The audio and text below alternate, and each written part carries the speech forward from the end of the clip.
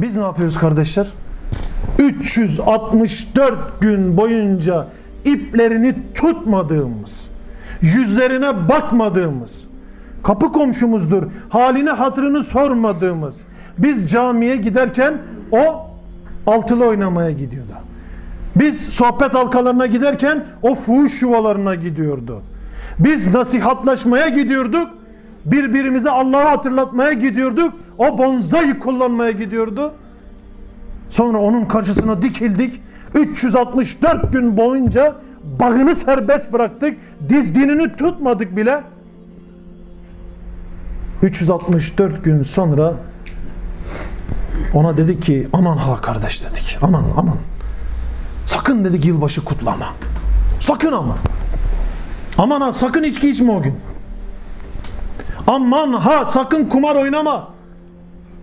Hindi eti mi? Aman kaç. Domuzdan kaçtığın gibi kaç o gün. Neden? Dedi ki çünkü bir kavme benzeyen onlardandır. Bu Yahudilerin ve Hristiyanların adetidir. Aman ha dedik kardeş yaklaşma. Allah fal oklarını, kumarı, içkiyi, reis olarak, necis pislik olarak bahsediyor. Aman dedik yaklaşma. Doğru mu yaptık? Evet doğru yaptık.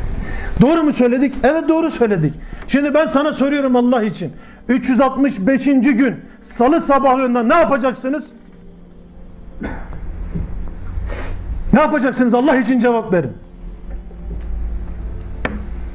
Yine yolda göreceksiniz suratına bakmayacaksınız. Siz camiye gideceksiniz o genel eve gidecek. Siz sohbet halkalarına gideceksiniz aman mıymıntıdır görmesin beni diyerek arabanın arkasından kaçacaksınız. Ya bırak Müslüman ya. bırak Allah'ını seversen ya. Bırak. 364 gün boyunca bağını bıraktın. Şeytanın ve dostlarının otlaklarında adam otladı. Aman dedik Yahudi ve Hristiyanlara benzeme. Eyvallah doğru söylüyorsun. Ama bırak. Ne olur kendine bir dön ya. Bir nefsimize dönelim Müslümanlar. Adamın telefonunu sildik. Telefon numarasını sildik. Adamın cenazesi oldu taziyesine gitmedik. Kızını evlendirdi tebrik etmeye gitmedik. Hastanesinden komadan adam adamı çıktı. Hanımı ölüyordu. Bir kere Allah rızası için ziyaret etmedik. 365. gün inanıyorum sabahleyin salı sabahında sen ve ben ben başta olmak üzere WhatsApp durumlarımızda, Facebook adreslerimizde, Twitter sayfalarımızda hanımlarımızla yemek yediğimiz yerleri, kardeşlerimizle mangal yaptığımız köşkleri paylaşacağız. Nerede kardeşim ayet hadisler şimdi? Gitmeyeceğiz mi salı sabahından sonra adamın evine? Yapma be kardeşim. Demeyeceğiz mi? Kumar oynama demeyeceğiz mi? Hırsızlık yapma demeyeceğiz mi? Zina etme demeyeceğiz mi? Allah'ın kitabını oku demeyeceğiz mi? Resulullah'ın sünnetine yapış demeyeceğiz mi? Bir dahaki yılbaşında görüşmek üzere. Ne diyeceğiz? Müslümanlar kendimize gelelim ne olur ya. Kendimize gelelim. Uyarmayalım demiyorum. Eğer sen Nuh Aleyhisselam gibi hayatının her alanında gece, gündüz, sabah akşam hiç fark etmeksizin yüksek sesle çıktın şu mindere, çıktın şu tepelere bağırdın. Ey insanlar Allah'tan korkun. Sana dediler ki sen delirmişsin. Sen adamın yakasından tuttun yapma be kardeşim dedin. Lan bırak dedi kıyamet gününde vallahi Allah'ın huzuruna çıkacağım.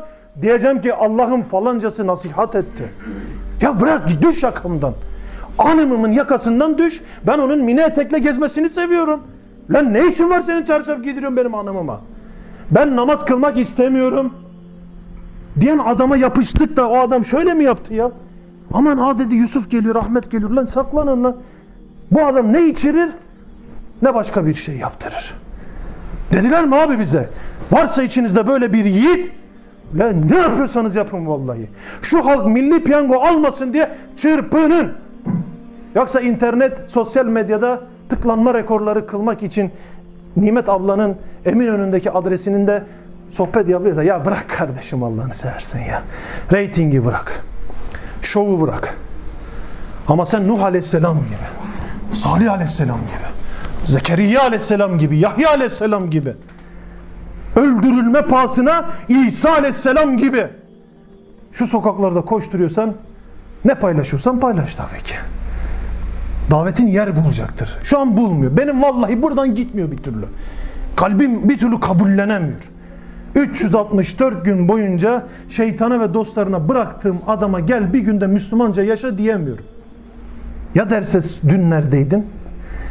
Ya derse bana benim evladım bonzayı içerken senin tam şu sokağının köşesindeki ağacın dibinde ben gencimi 20 yaşındaki yiğidimi kaybettim. Lan neredeydin derse ne yapacağız? El Fatih amca ne diyeyim? Keşke bir diğer yılbaşına kadar yaşasadım mı diyecektik. Müslümanlar kandırmayın ne olur kendinizi. Ben de kandırmayayım sen de kandırma. Ama Nuh Aleyhisselam gibi bu sokaklarda çırpınanlar benim söylediğim sözlerin hepsi dışındadır.